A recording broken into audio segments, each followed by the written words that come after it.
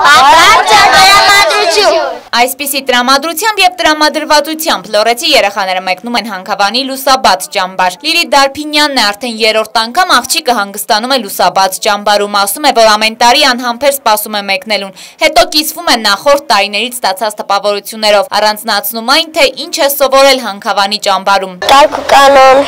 ինքնուրույն ինչ-որ բաներ անել։ Էին ձեռք են բերում շատ ընկերներ։ Ասում եմ, որ կարելի եւս մեկ անգամ գնալ, որովհետեւ շատ լավ տեղ է։ Հայաստանի Հանրապետության կառավարության կողմից իրականացվող դպրոցականների ամառային հանգստի կազմակերպման ծրագրի շրջանակներում 2017 թվականին ամառային ճամբարներում իրենց հանգիստը կանցկացնեն Լոռու մարզի 415 դպրոցական։ Երեխաների ամառային հանգիստը կիրականացվի 3 հերթափոխով։ Յուրաքանչյուր հերթափոխը 20 օր տևողությամբ։ Հանքավան մեկն է ճամբարականների առաջին հերթափոխը 115 երեխա։ Այդ բյուջեով նախատեսված ճամբարա ու այս թիվը ինչքան ուզում երկրի վիճակը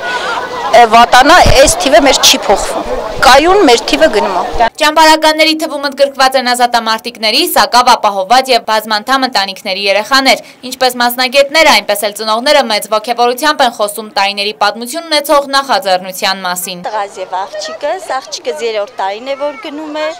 շատ գոհ ենք եղբորը հետը տանում է, որ ավելին դեղ ընկերներ ձեռք բերեն, շատ հաճելի է անցնում իրանց համար։ Շատ լավ է, իրանց օրը շատ լավ է անցնում, մտնորը լավ ընկերներ են ձեռք բերում, շփվելու ձև են սովորում։ Դա շատ կարևոր է իրանց համար։ Ամեն ինչ կարգապահություն, ամեն ինչ դաստիարակություն սովոր են երեխեքը։